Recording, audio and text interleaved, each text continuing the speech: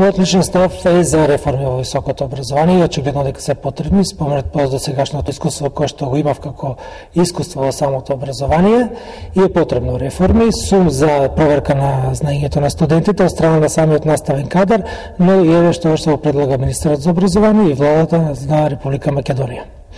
Ликовната академија на последната научен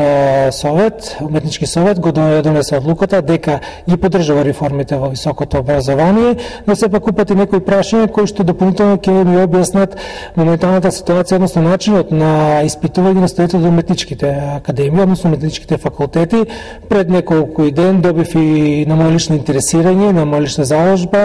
информации како ќе стои тоа и тие во еден степен се иземени од класичниот начин на држава полагање на државен испит, според оние услови кои што ги предвидува и наставниот кадар за испитување, односно за оценување на уметничките способности на кандидатите на запишани на, на Ликовната академија при Универзитетот Гоце Делчев.